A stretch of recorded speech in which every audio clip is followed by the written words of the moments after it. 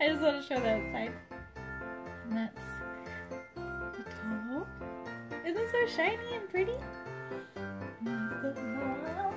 And this is the first one. So it's kind of a swirly swirl. And then that, that piece, it's got real peppermint inside. That's the top. I really love how the top, I think I'm gonna call it like Alpine Dreams or something. Think that'd be a cool one. Okay, make sure these are straight. One day I'll buy a cutter too. Oh god, it was hard.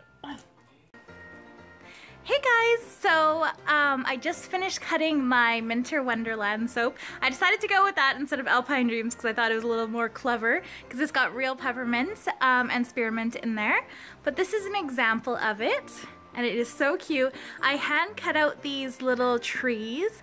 Um, and then I just did some layering and in between each of the layers I did some actual spearmint tea like peppermint tea and it is so cool I think it turned out awesome it's got a little bit of a swirl this one's probably not the best example but it does have a bit of a swirl that's the ones that have like just the straight across lines um, and it actually works as an exfoliant and um, it is antibacterial peppermint naturally is and there's no scent in here. It just naturally is scented like peppermint and spearmint. It's very fresh and awesome. So yeah, I hope you guys enjoyed that little cutting video of my Minter Wonderland. This is my favorite bar soap I've made so far. I love how it turned out. It's awesome. So I'm, I'm gonna remake this one definitely.